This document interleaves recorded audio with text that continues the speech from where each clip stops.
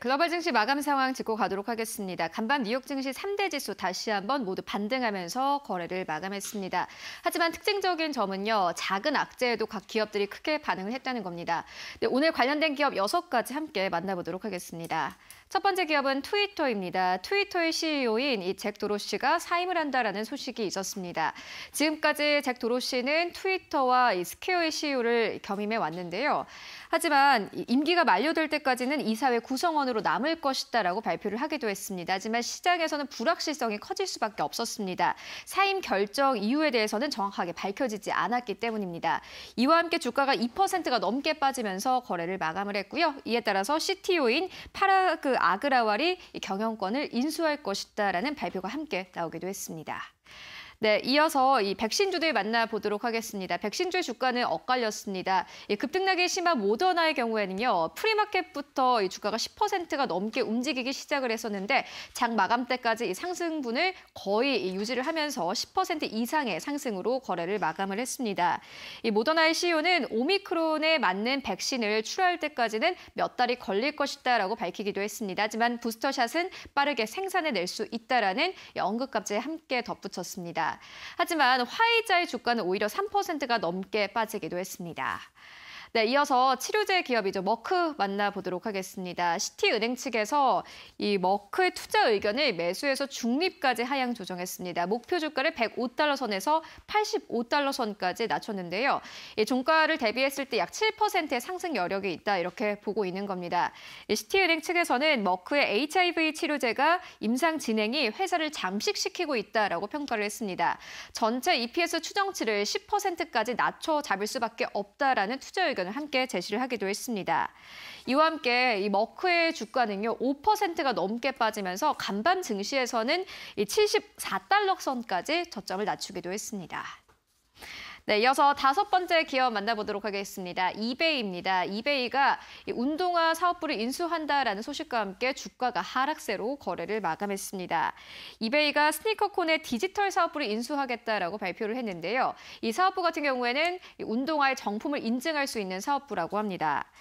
운동화 분야를 확장시키려고 하는 전략이다라는 이야기가 나오고 있고요.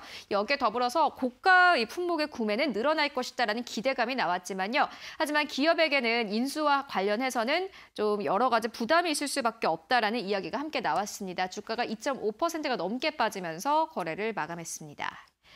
네, 그리고 마지막 기업 만나보도록 하겠습니다. 중국의 전기차 제조업체입니다. 리오토인데요. 자동차 판매가 전년 동기 대비했을 때 200% 이상 성장했다라는 소식이 있었습니다. 호실적을 발표를 한 건데요. EPS와 매출 모두 다 시장의 컨센서스를 크게 상회를 했습니다. 특히나 이 시장에서는 전체 주당 순손실을 기록할 것이다라고 내다봤지만요. 주당 3센트의 이 이익을 기록을 하면서 시장의 컨센서스를 대폭 상회한 것으로 나타났습니다. 이와 함께 주가가 6%가 넘게 뛰면서 거래를 마감했습니다. 네, 이렇게 여섯 가지 기업들을 만나보고 왔는데요. 전문가의 시선은 어떨까요? SC 글로벌 센터의 김성규 소장 만나보도록 하겠습니다. 안녕하십니까? 네, 안녕하세요. 네, 간밤 뉴욕 증시 3대 지수 다시 한번 반등하면서 거래 마감했습니다. 오늘 우리 증시의 영향과 분위기 어떻게 보고 계십니까? 네, 뉴욕 증시는 어제의 그할 대, 대, 금요일에 대폭의 그 하락을 이제 어느 정도 만회한 모습 보여주고 있습니다. 현재 오미크론 바이러스에 대한 우려가 좀 줄어들고 있고 이에 따라서 기술적인 반등이 들어오면서 3대 지수가 모두 상승 마감했습니다.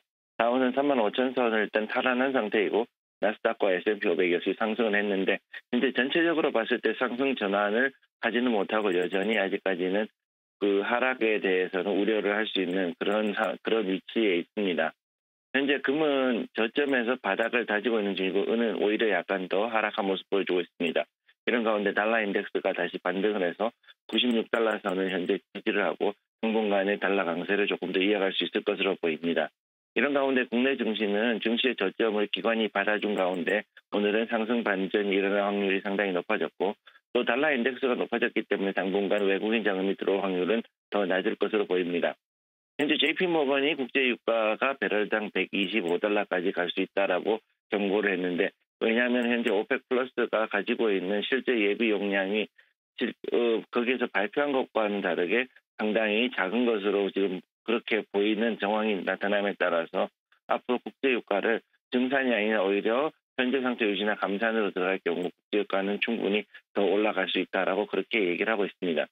이에 따라서 국내 증시 같은 경우는 경기 하락 가능성이 높아지면서 그 자동차 관련주 등이 앞으로 강세를 보일 것으로 예상하고 있습니다. 현재 모더나의 방셀 CEO가 오미크론 백신 개발과 출하에 수개월이 걸릴 것으로 전망한다는 발표를 하였는데 현재 상태에서 봤을 때 여러 백신 치료 백신 관련주들 중에서 모더나가 가장 빠른 그 오미크론 백신 개발을 하고 있는 것으로 보이기 때문에 여기에 대해서 상당히 강한 강세를 보일 것으로 보입니다. 이에 따라서 국내 증시 같은 경우는 백신 관련주들이 더욱 힘을 받을 가능성이 높아졌고 치료제 관련주는 당분간은 하락 가능성이 오히려 높아졌습니다. 마지막으로 미 증시가 현재 채권 트레이더들의 단타가 지금 계속되고 있기 때문에 채권 금리의 진폭이 커지면서 이것이 또한 증시에 반영이 되고 따라서 경기 불안감이 조금씩 조성되고 있는 것을 볼 수 있습니다. 이에 따라 국내 증시 역시 정책주와 그다음에 대선 후보 관련주들의 순환매가 계속 이어지는 가운데 제약 바이오들의 강세가 당분간은 이어질 것으로 예상하고 있습니다. 네, 알겠습니다. 지금까지 김성규 소장과 함께했습니다. 고맙습니다. 네, 감사합니다.